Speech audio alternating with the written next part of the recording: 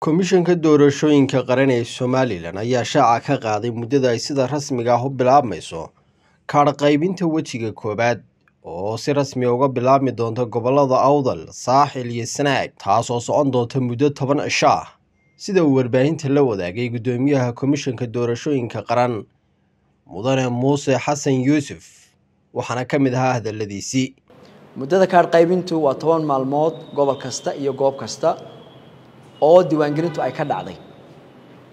Barnaamij kaadh qaybintu waxaa loo qorsheeyey labo howlgal oo gobolaysan. Howlgalka koowaad ee kaadh qaybintu waxaa ka fuli doontaa saddexda gobol ee kale ah gobolka awdal gobolka saaxil iyo gobolka sanaag. Halkaas oo ay ka socon doonto muddo toban maalmood ah oo ka bilaabmaysa koob iyo soddonka may laba kun saddex iyo labaatan kuna eeg sagaalka juun laba kun saddex iyo labaatan. Howlgalka labaad ee kaadh qaybintu waxaa laga fulin doonaa saddexda gobol ee kale ah gobolka maroodi jeex gobolka togdheer iyo gobolka sool. Howlgalkaas oo socon doona muddo toban maalmood ah oo ka bilaabmaysa laba iyo tobanka juun kuna dhammaanaysa koob iyo labaatanka juun laba kun saddex iyo labaatan.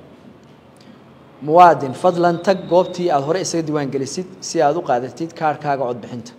Muwaadin waxaanu idinku wargelinaynaa in qofna aanu qof kale kaarkiisa u qaadi karin oo ay sharci darro tahay.